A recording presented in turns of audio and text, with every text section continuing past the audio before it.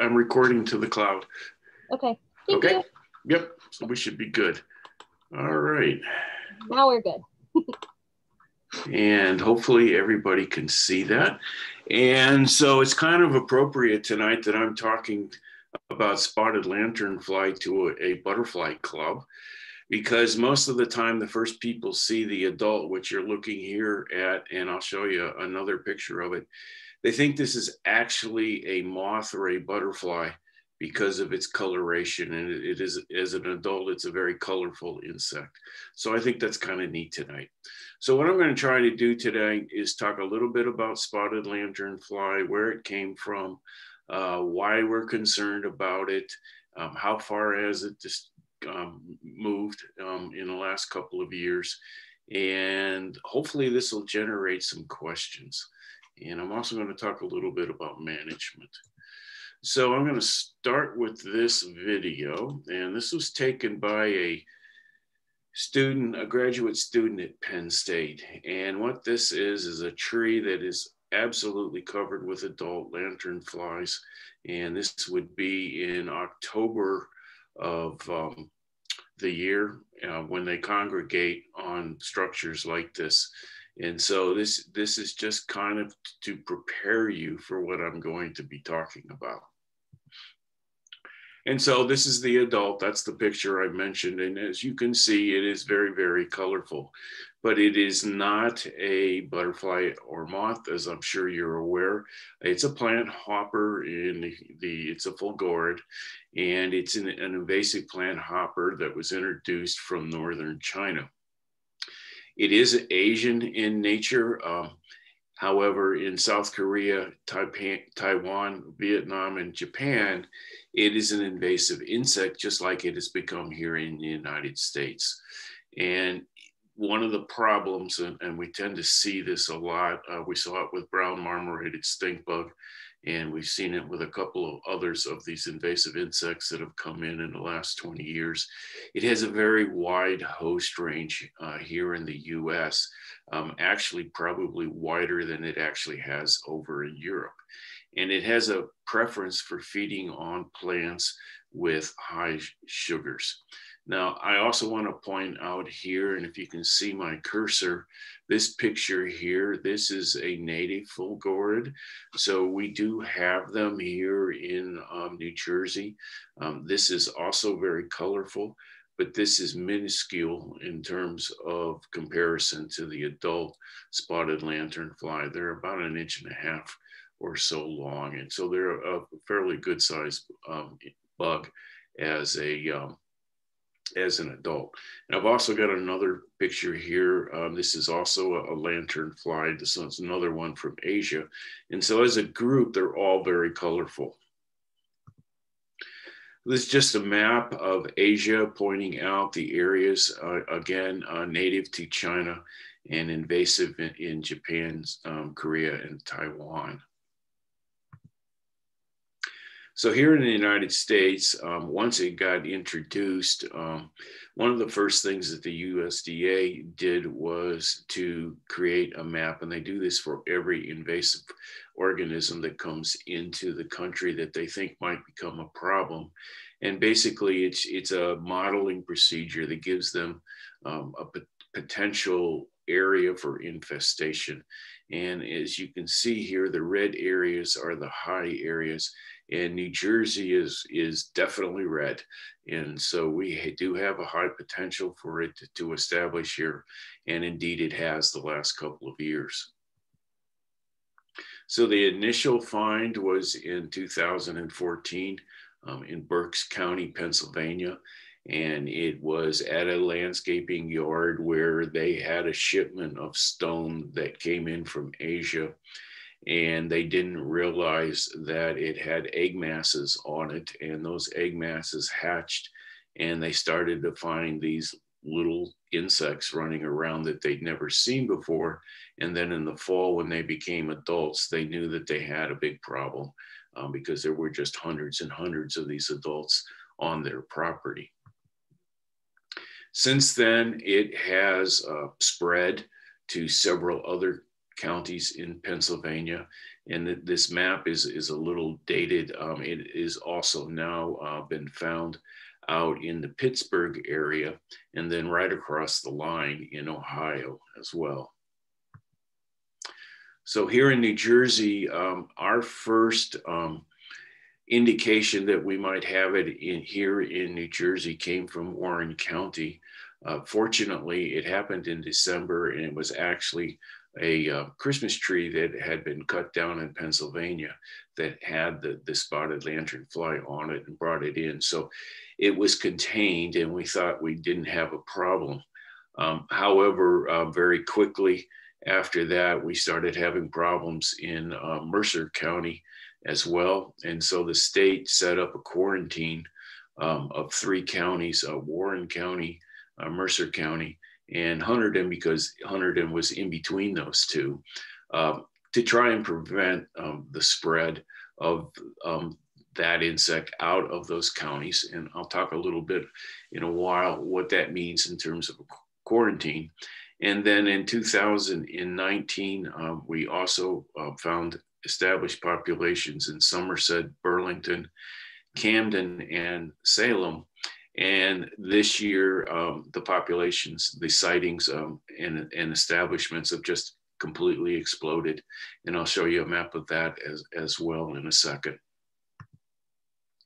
So it's not just a Pennsylvania, uh, New Jersey issue. Um, it is also an issue in Delaware. It's an issue in Maryland and Northern Virginia and uh, West Virginia in their fruit growing regions. Um, it is now present in New York State and it has, they found a population of it in Connecticut. And so it is spreading um, out throughout the East. And so as I mentioned, um, initially the Department of Agriculture um, established a three county quarantine in 2018, uh, 2019, that was expanded um, to additional counties. And part of the way that they're finding that these insects um, is through this email that we have. Um, we set this up actually in anticipation that it might get here a couple of years before it actually did. And it gives people a way to tell us uh, that they're finding it. And on the website where, you, where you click this um, address, um, it asks people to send us a picture and we need, we'd like to either have GPS coordinates or the um, local area and an address so we can pinpoint. And initially uh, give that information to the Department of Agriculture uh, so that they can go to that location and confirm that it, whether it's established or not. Now they are not doing that anymore because this is now spread so wide. Um, they are not really responding to those kinds of things, but we still are taking this information because we have things that we can do with it to help us uh, with solving this problem. Right now, the Department of Agriculture is um, pretty much um, concentrating on finding new established populations that are in the vicinity of wine um, vineyards. And so, um, and again, I'll talk about that in a second, but that's, that's primarily what they are now doing. And so here at Rutgers, we also have people that are working on research and, and, and, monitoring programs. And I'm going to talk a little bit about some of that as well. And so the, just to show you what we get with these reports, um, this is 2018 and we had 45 reports. Again, um, that was when we first really started to try to get the word out. So we, it was slow. I'm sure there's more locations than what we had. And fortunately, um, 75% of them um, were positive because people gave us a picture. When they don't give us a picture, we have to email them back, and, and it, it's a longer process. And you can see that as they went through their development, that we'll talk about um, our first reports started coming in in July, and they increased um, through August and into September. And so this is just the number of reports that we saw between 2018 and 2019. And you can see that we had a very large jump in the number of reports. This is partly probably because of better advertising um, on our part and also the Department of Ag, um, and also that it was spreading. And so for the whole year, we got 252 and now because people know what to do we're, we're up to 97% in terms of positive reports because of those pictures so this is just a breakout of where all of those reports were coming from in 2018 and 2019 and hunterdon county was the number one county where all the um, reports were coming from. And that is kind of an indication that they were spreading pretty quickly through Hunterdon, and actually they were. Uh, this is just um, time of year for reports. Um, what this tells us is there's usually two periods during the year that people um, start seeing this, and, and this is uh, when they're juveniles. Um, they can be in very large numbers and, and they are colorful. And then later in the year, when people start seeing the adults, which is the most concerning um, because that's the mobile stage and they do fly. And that's one of the main ways that they get, or, get around. Okay, here's those maps. Um, this just gives you an indication in terms of the number of reports uh, from 2018 to 2020. And it's obvious here that we had an explosion of reports in 2020. And I have a sneaking suspicion that that's probably due to the fact that this insect is spreading out throughout the state. So again, um, it's a colorful insect. Um, they are pretty large, uh, an inch to an inch and a half in a size as adults. And they have the coloration And so this is just pointing out that the hemielytra um, on this insect um, is grayish with black spots and underneath they have red and black spots on the hind wings and yellow and black markings on the dorsal part of the abdomen. Life cycles, um, what you're looking at here is an egg mass. They are whitish in color when they're first laid, and then they turn this color. And right next to it, to the upper left, you can actually see an egg mass from the year before, and you can see the emergence holes of, of the uh, first instars coming out of that egg mass. Um, they start laying the eggs in August and November. Um, they will have 30 to 50 eggs per egg mass, and this is the overwintering stage um, for the insect. Um, they hatch in, in Virginia in, in May and in Pennsylvania also in May, and that's when they hatch here in New Jersey as well. And the hatch rates are somewhere between 60 to 90%, uh, depending on temperatures. They like cool temperatures, although there is a lower limit as to what they can survive. So they have four instars. Um, the first instars are black with uh, white spots, and then eventually they develop the red coloration uh, with white spots. The nymphs are very mobile. Um, people at uh, in West Virginia have looked at this and they can actually move um, three and, a quarter feet per minute. And they can, are also very good jumpers. They could jump 16 feet in 15 minutes. So they can move around fairly quickly. Um, there is a connection with tree of heaven uh, with this insect and initially we thought that it had to feed on uh, tree of heaven in order to complete its life cycle. Um, the data today is indicating that might not be the case. Um, so after four instars um, it does mature to the adult as you can see. And the fortunate thing is that this only has one generation per year so this is just a graphic um, starting with the egg masses and going um, clockwise around the circle here. Um, the first instars are hatching in May to June. Second instars are showing up in June and July. Thirds in June and July as well. And then the fourth instars anytime from July to September. And then July to December, we actually see emergence of the adults, and then they start laying their eggs um, in September, and we'll continue to lay eggs um, through December as long as we don't have the cold temperatures like what we've been having the last couple of weeks. And so this is just a picture of the nymphs on um, plant material. So they don't have a diapause, uh, but I mentioned there is a temperature. Um, it eight degrees is the critical th threshold um, for egg hatch, and they have need that so they can go through the degree days um, for cooling um, in order to hatch. So we are working here at Rutgers. One of my colleagues is working on a degree day model so we can use temperature to try and key in on certain um, events during their life cycle.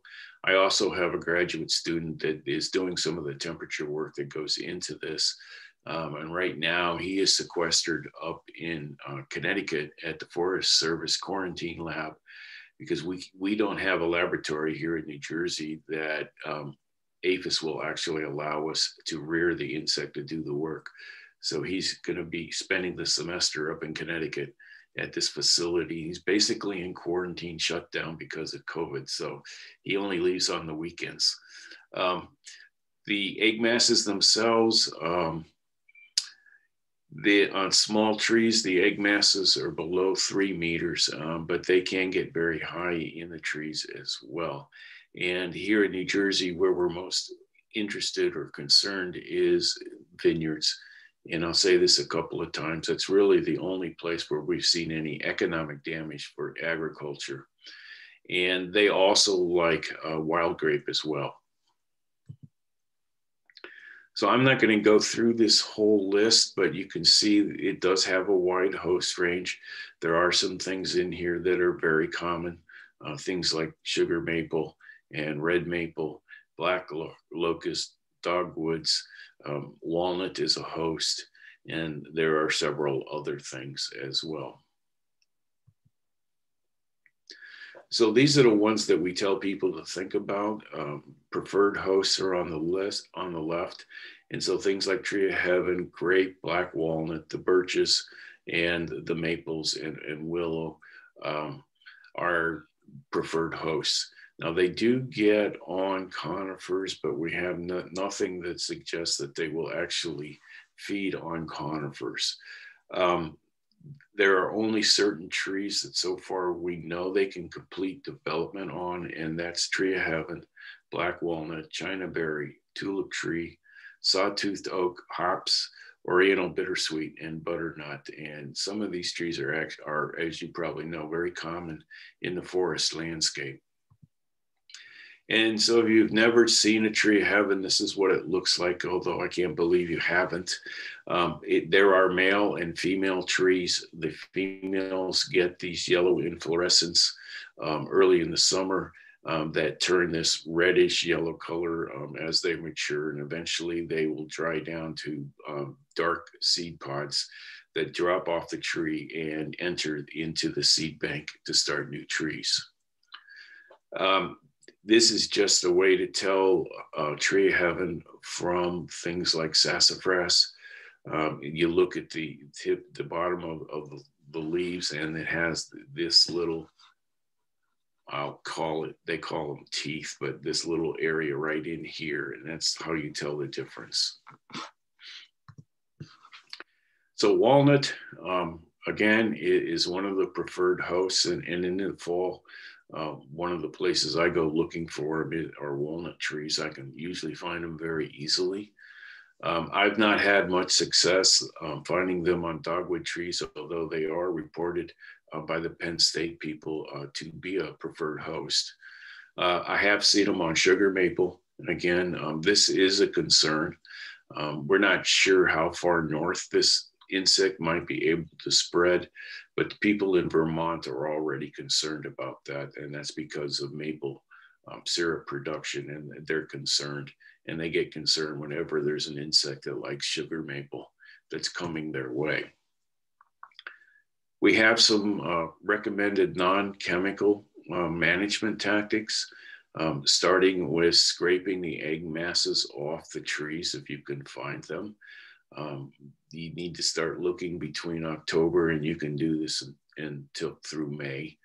And as you scrape them off, and actually the Department of Ag was distributing what looked like credit cards. They were um, cards to help you ID the insect in the egg mass, and you scrape them off and into a plastic bag and, and uh, dispose of them after double bagging them or placing the eggs in alcohol or hand sanitizer.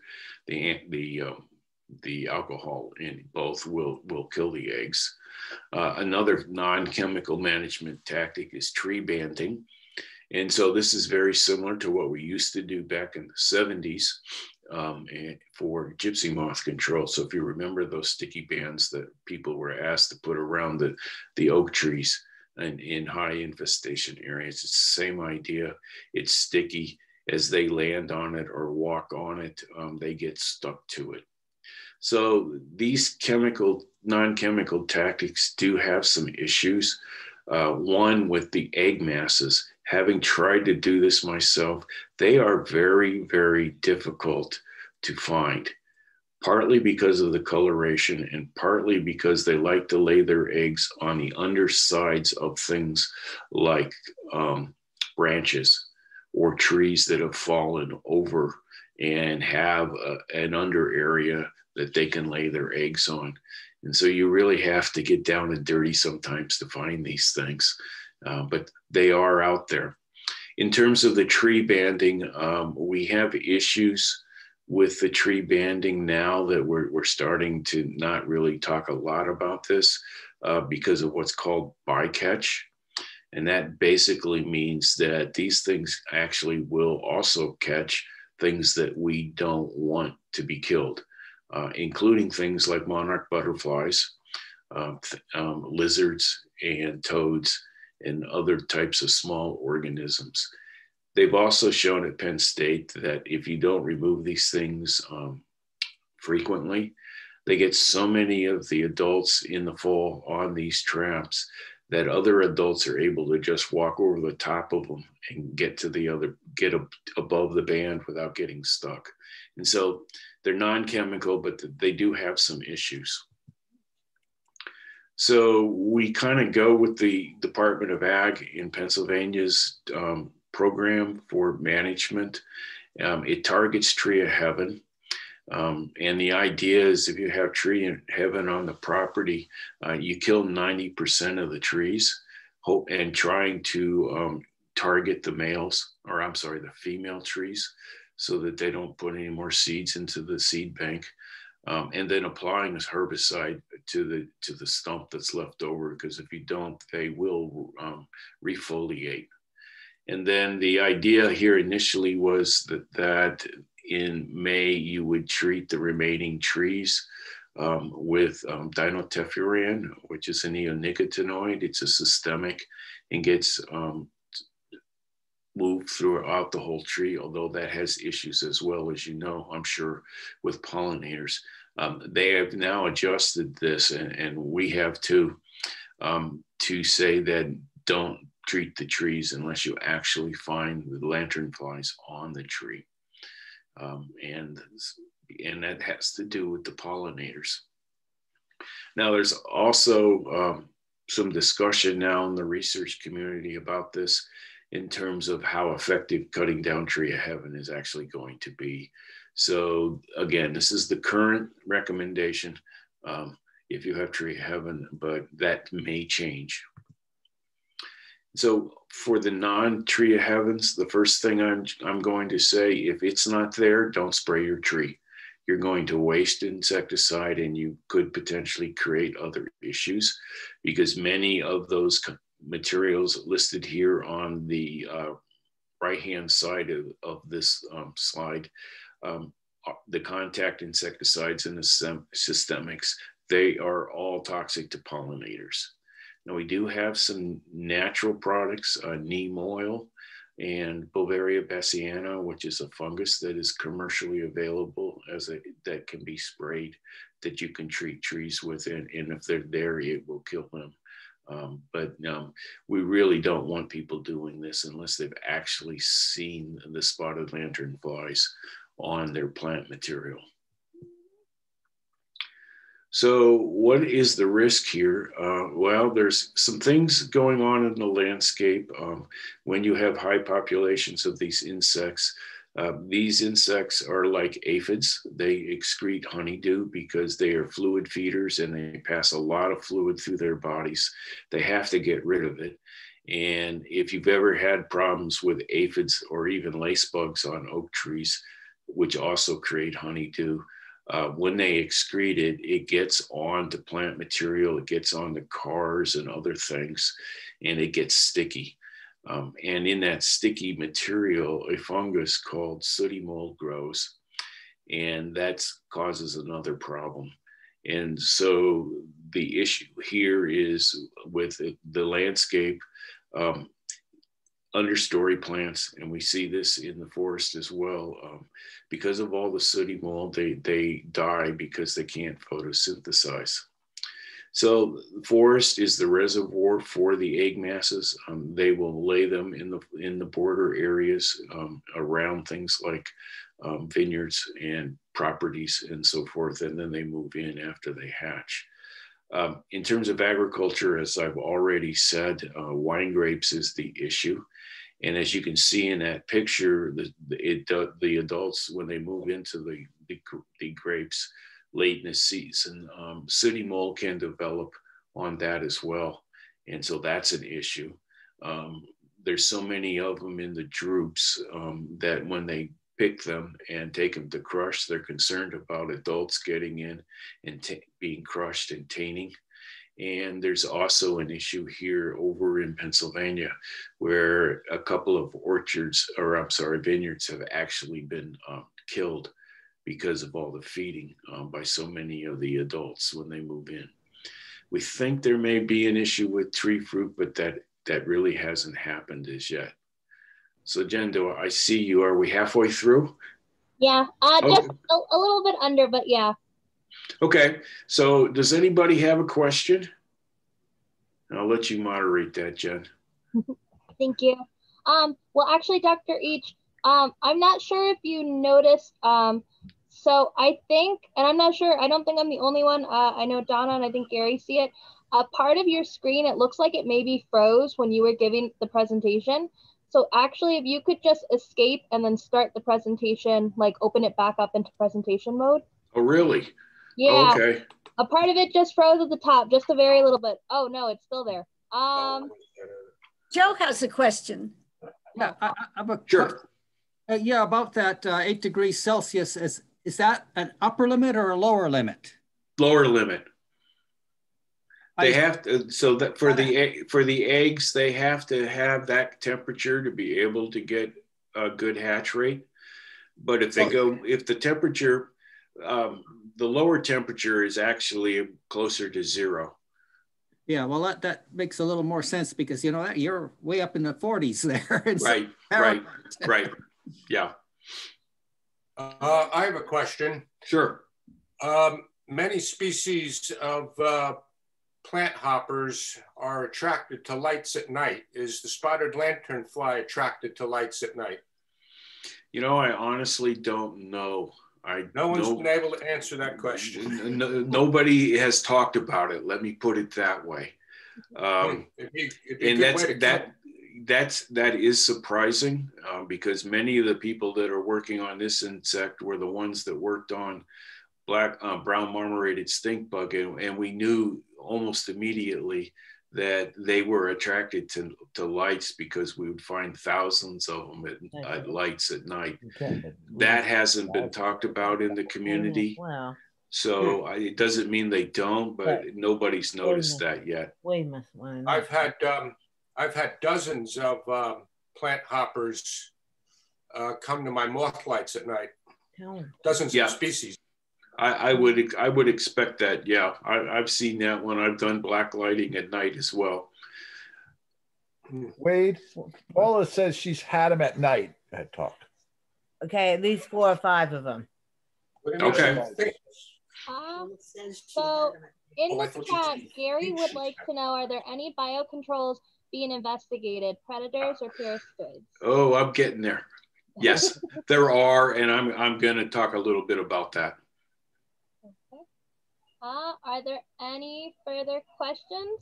Uh, yeah, this is Lee. I have uh, just a follow-up for Joe because this is something new to me, this eight degrees uh, centigrade critical threshold. And then you had 550 DD. Can you explain Degree to me days. what all Sure. I, I absolutely can. Um, to, it, because insects developed um, at different rates depending on temperature, uh, we have a way of determining um, what their lower development threshold is, and then we can use weather data, um, minimum and maximum temperatures on a daily basis to calculate those degree days. That's 40 degrees. No, And so the it has to be colder than that.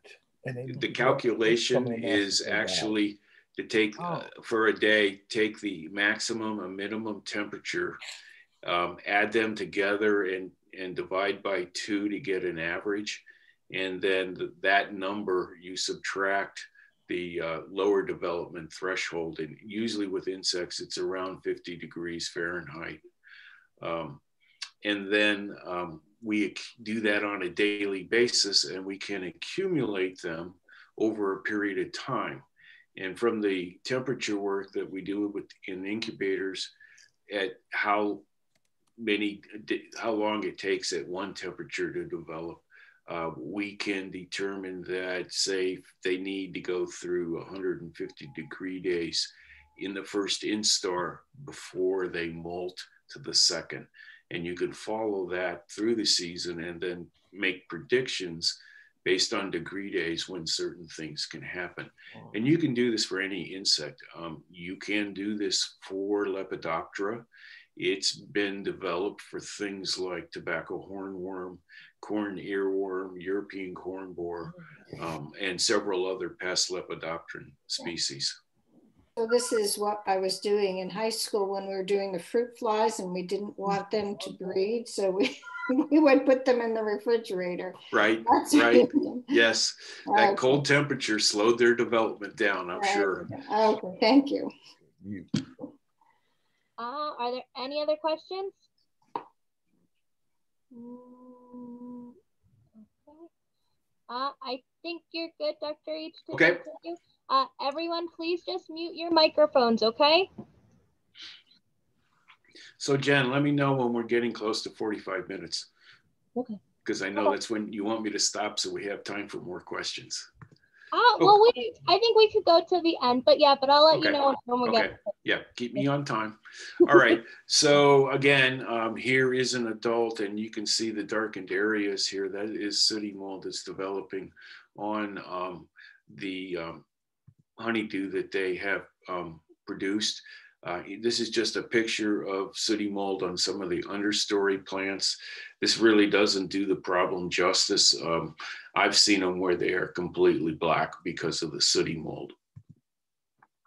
Here's a dead vineyard. This is one of the vineyards in Pennsylvania that they had so many adults in, in the fall that they, after the, the vines senesced, um, they didn't refoliate in the spring and they're attributing that to the amount of fluid that they took out of the out of the vines um, when the adults were in there feeding. And so uh, again here's just you can see honeydew on the leaf and that's an adult again feeding. All right and i said that earlier so we'll go on. Um, so some of the phenology studies basically looking at what this insect is doing at different times of the years. Um, they do see the first and second instars in the vineyards in, in early June, and the fourth instars in, in later in July, um, and adults in August. And that is on wild grapes. And they don't see them going into the cultivated grapes until late September. And so the, the chart at the bottom is just blocking out um, where they are at at different times of the year um, based on host plant. So surveillance, of course, is something that we need to um, figure out what they're doing, where they're moving, how large are the densities. Um, if they're an economic problem, we need that information so we can plan different kinds of, of control or management strategies and, and when best to do that. And, and so we are in a, a surveillance program um, trying to slow the spread of this. And one of the ways we can do that is with an early detection um, followed by a rapid response program. Um, and so we there's a lot of coordination that has to go on with this.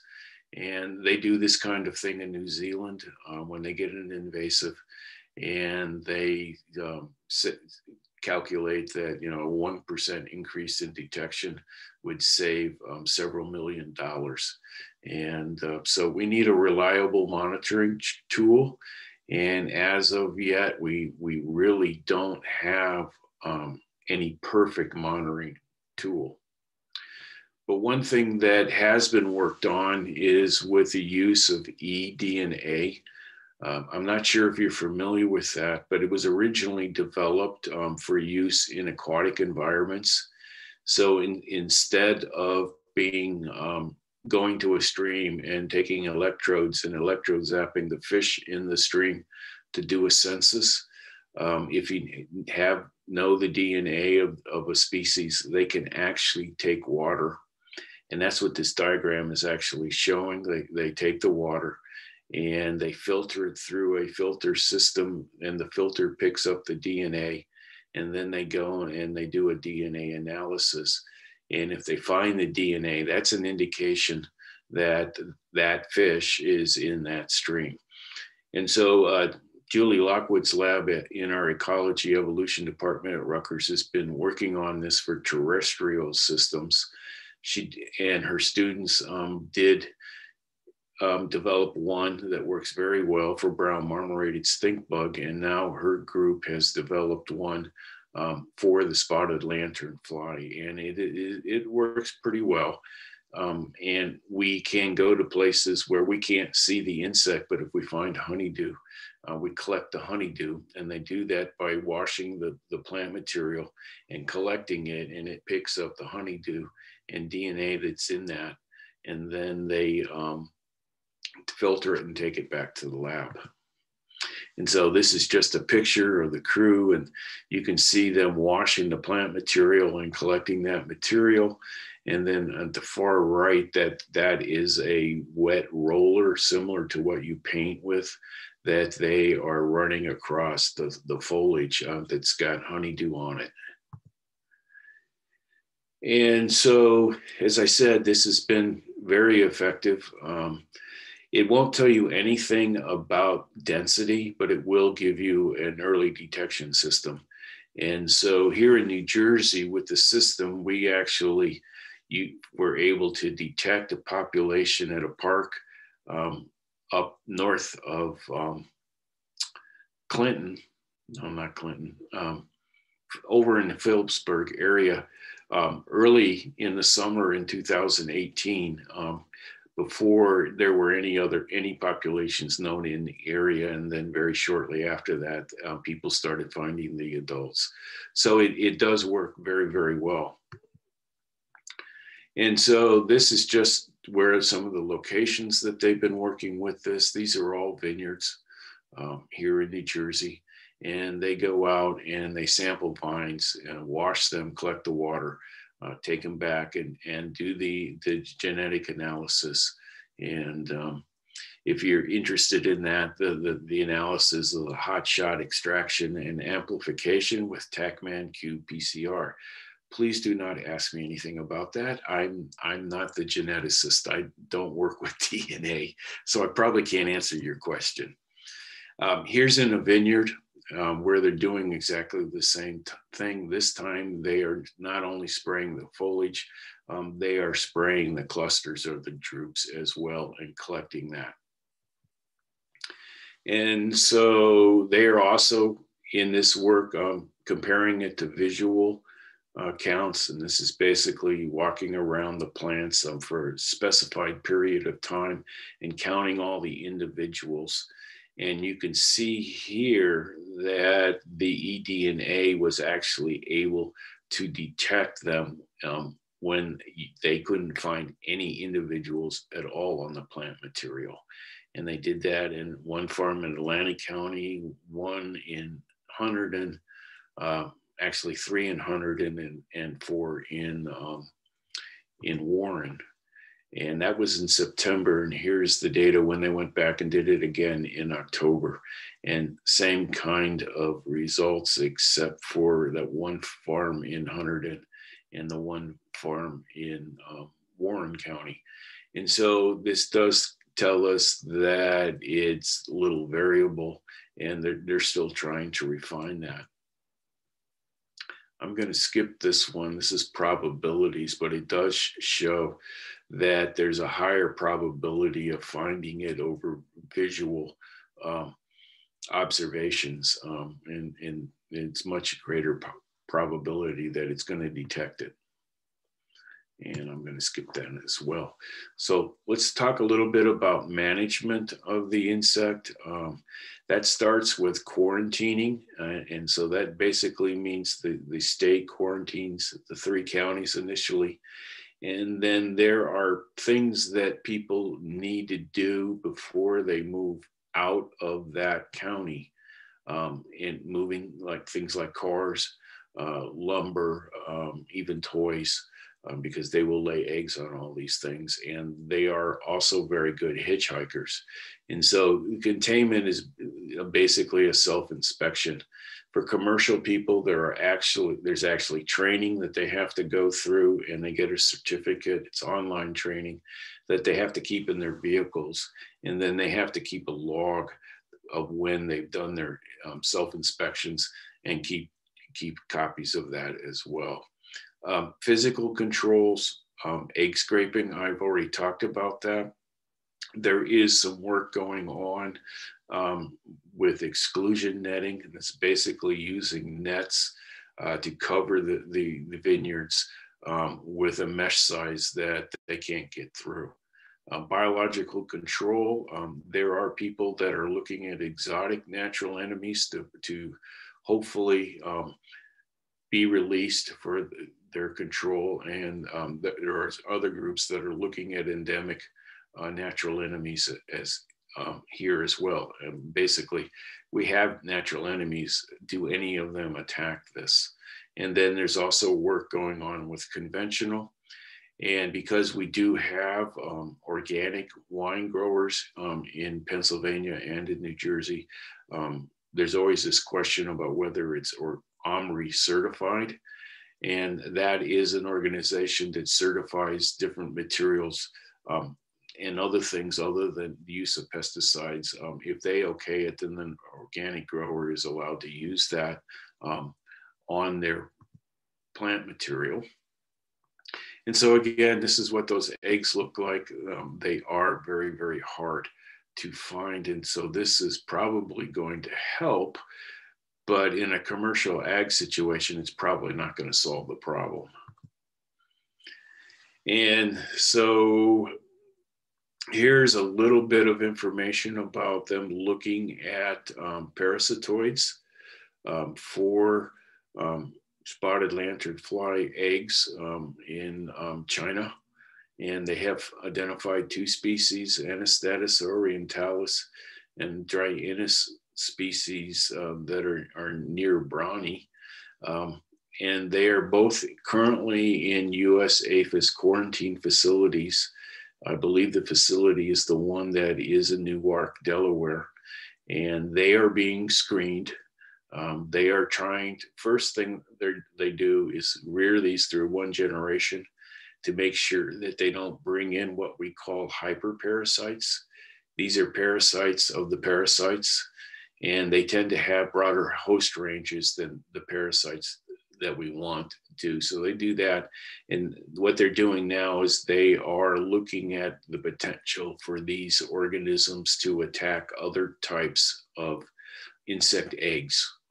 Um, and that, that the concern is that we don't want to release something that's going to have an impact on our native insects here.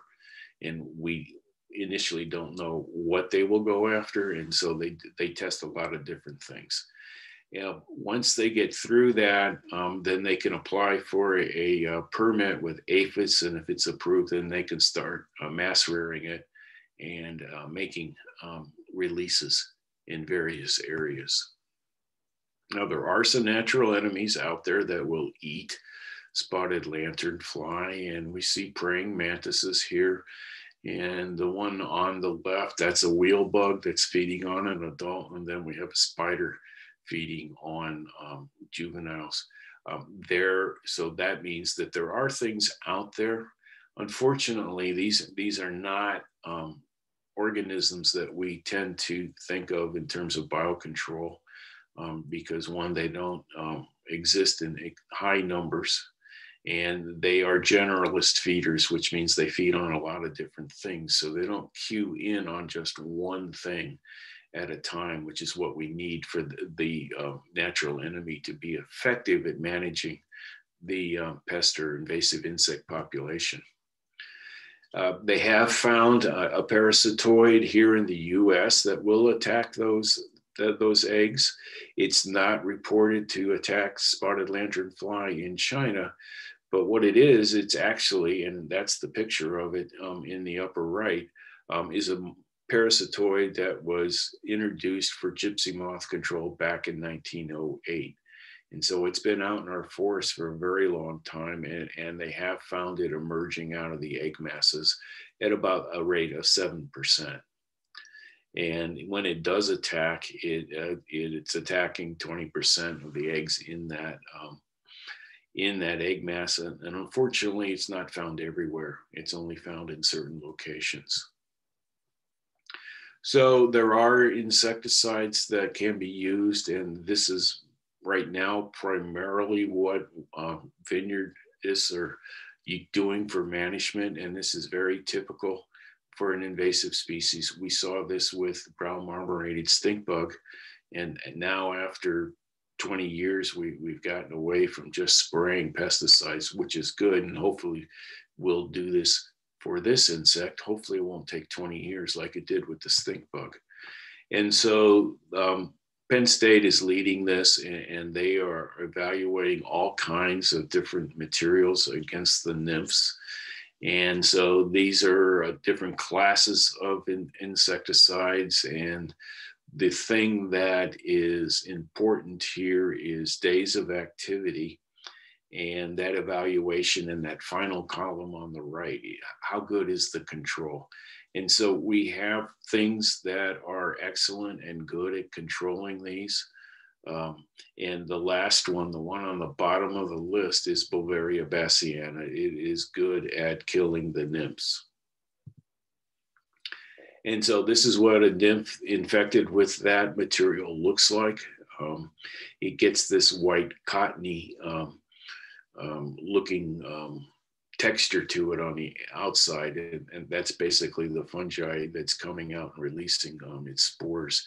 And so the, there are commercial products out there um, that can be used. And these are actually things that a homeowner should be able to buy if they have problems with, uh, if they're growing grapes on their property um, to treat for this.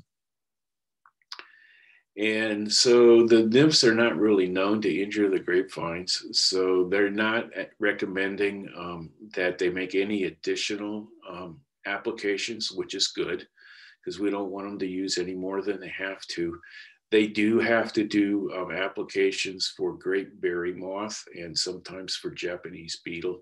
And the materials they use for that um, does a very good job at controlling the nymphs. So the bigger problem is the invasion of the, the adults um, late in the season, just as the grapes are starting to, um, to ripen. And so they will come into the vineyards as the tree of heaven um, trees are, are in decline. And so there's a big association with vineyard borders. And so people are trying to cut down um, tree of heaven in the borders around their, their vineyards to try and control this. Uh, they feed mostly on the cordons and the trunks. Again, they're not feeding directly on the fruit. And um, depending on the variety and when it's harvested, um, there is management that's needed both pre-harvest and post-harvest. And so again, Penn State's done the same thing that they did with the nymphs. They looked at all the materials to see how good they were against the adults.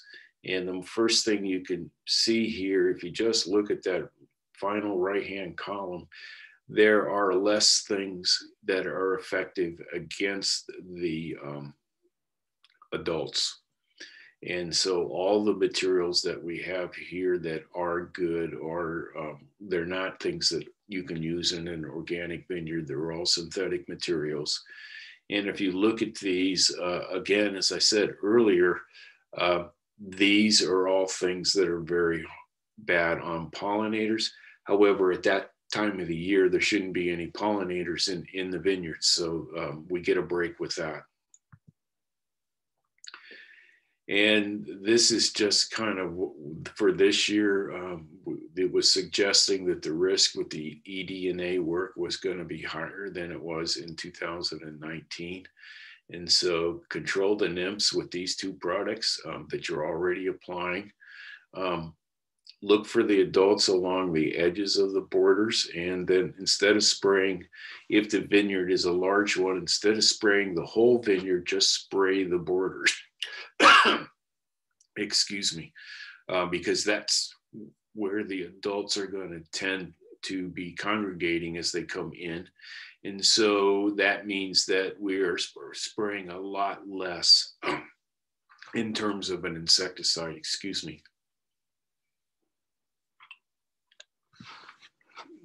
And we have several materials that they can do that with. And so I'm at near the end here today. Uh, this is, I think, my last slide.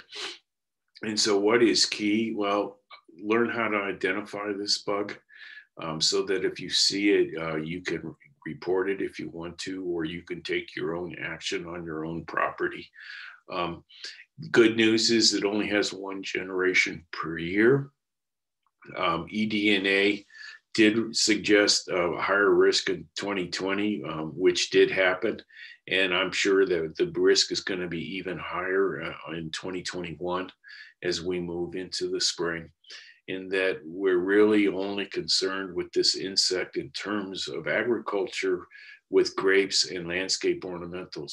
However, for the private citizen, there are there is the issue of these adults uh, uh, and the, the nymphs getting to large population sizes and excreting all that honeydew, and that's going to create a big problem.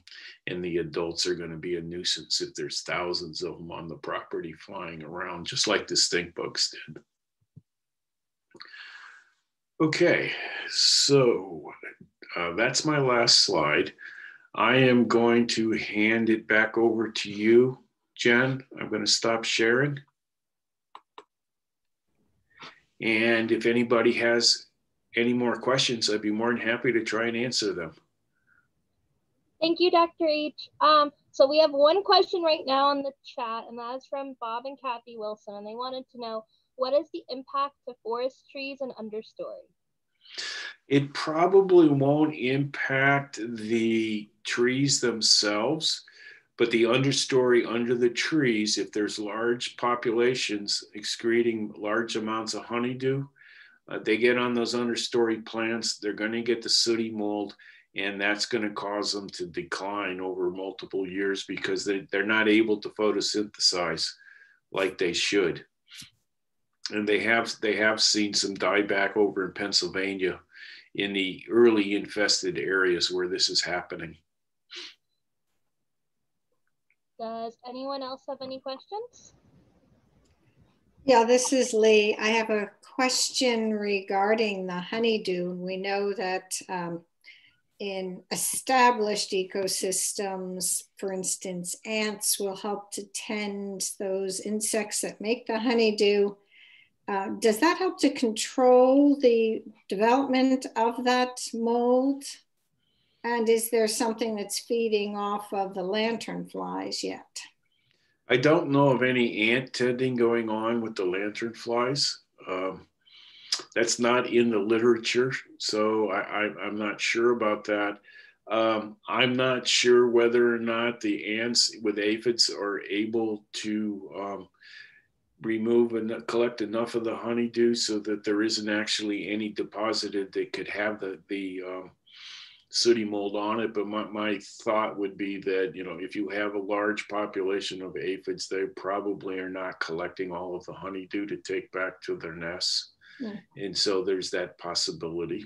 The one thing that they do do that is well established is those ants will actually defend those aphids they would keep them they keep predators and, and parasitoids away from them so they don't lose their food source if they did the same thing with um, spotted lanternfly it would probably be with the juveniles.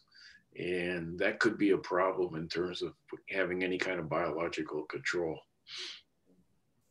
Uh, one other thing um, uh, no, you can't do this in the agricultural section, but if you find them on your own property and you're trying to save trees, do you think you could uh, spray with alcohol on those egg masses, uh, soak them? Do you think that would be effective? Um, you know, I don't, nobody's looked at that, but I would think that, and I would only do this after the tree has defoliated, and I would only do it on the egg masses. Um, probably a simple solution of 1% soap and water would have the same effect, and that would be probably um, a little more environmentally friendly. Because mm-hmm. I, I, know that um, insecticidal soaps do work.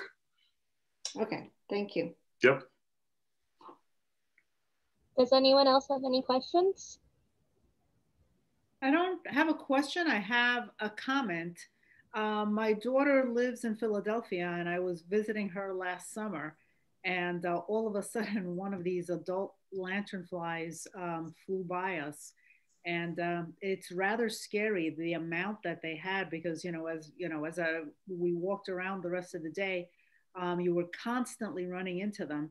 Um, they have done an excellent job of making their citizens aware of the problem because, you know, I had never seen one before, and she's the one when she saw it going by, she's like, "Kill it, kill it!" Yeah, yeah. They they for yeah. the first time they had huge problems in Philadelphia this year. Yeah, they yeah. they did, and it was if you walk around, you would just constantly see them, and then you know you would see. And for my daughter, a 24 year old who doesn't follow any of this, to know what it was and that she would kill it, you know, I thought that was pretty impressive and you and you know as you walked around you saw people all over the place it looked like everybody was dancing on the street as they step on them yeah. Um, and they're rather they're very they're rather very slow. So once you see one, you could just step on it. It, it they weren't you know they're very slow.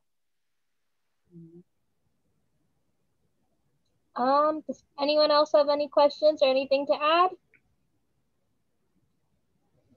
And they're I'll also just... they're also in Manhattan in Central Park. That does not surprise me. Mm -hmm because I, I, they are they were they were in Staten Island. I didn't know that they had gotten into Central Park, but they did get into Staten Island this year, and they also got uh, into Connecticut this year as well. So um, before I go, if there aren't any other questions, I do have something else I just want to bring up, since you're insect enthusiasts. Um, are you all aware that we are going to have a major brood of the 17 year cicadas this year in New Jersey and all up and down the eastern seaboard as far south as Virginia? I if you're if you if you're not or if you've never seen the emergence, it's it's a miraculous thing to go see, and the, the noise is deafening. And so, one of the best locations last time when they were out was in Princeton. And so those of you that are, if you're in the Princeton area, if you go to Battleground State Park, um, there in Princeton, and um, park and go towards the the uh, woods on the right hand side of the street as you head towards Route One, and go up around the trees, and you'll see the emergence holes of the nymphs when they come out of the ground and you'll see where they've climbed up the tree or up on grass and um, emerged out of that nymphal skin. And you should be also able to see the, the newly emerged adults hanging upside down on plant material, waiting for their bodies to harden and their and then their wings to expand and whatnot. And it's fun thing to watch happen. You know, I tried to I tried to videotape that and I ran out of, of um, um, I couldn't do it all. It, it takes several hours for them to completely harden. And I'm sorry, I cut somebody off. Yeah. Do you know if you get the three different species there of the 17 year? I do not know whether we um, have more than one species in, in this brood in that location.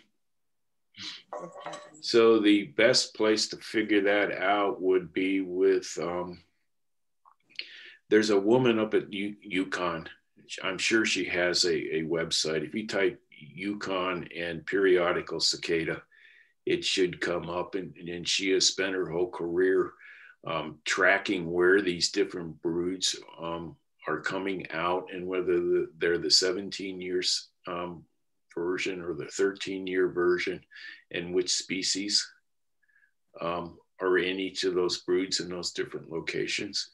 In fact, she was down um, the last time they came out with nature at that park in the evening doing taping for a nature show about it. And, and her name is escaping me at the moment. Another what good... are they due to come out? Oh, sorry. I was just going to say another good place is in the Sourlands, I'm about 15 oh. miles from Princeton in the oh, okay. And yep. this will be my third uh, experience with this. Okay. The first one was about uh, about a year after we moved here, and it's it's quite exciting. Uh, broad-winged hawks we have nesting quite near our property in the Sourlands, and they love to eat them. You'll see them on the first hmm. floor, picking them off in the morning as they come up out of the ground. It's pretty amazing. Cool. That's neat. Okay, good.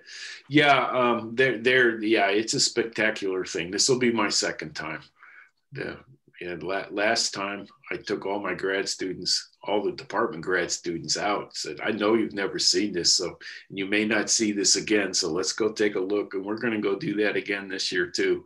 Mm-hmm. If they'll allow us to put more than one person in a vehicle to get there so I can take them in our department vans. we can do that. yes, absolutely. I'm hoping this the Mississippi kites come up and nest here and eat them. I had a question about when that is expected to happen. It, sh- should start to happen probably in early June. Okay. Yeah. Okay, well, I want to say a very big thank you to Dr. Hamilton for joining us tonight. Very illuminating presentation, very timely topic that we all need to be aware of. So thank you so much for joining You're us. Welcome. Thank you Thank for you. all our members to come. And I just want to mention our next meeting, which is March 2nd. Mark your calendars. And our presenters, our own Wade Wander. And the topic is Butterflies Lost, Extirpated Butterflies in New Jersey. So should be another very interesting uh, presentation. In the meantime, um, stay safe and think spring. And we'll look forward to seeing everyone next month. Take care, everybody. Bye. Good night. Bye bye. Night. So, Jen, stay on for just a second. Okay.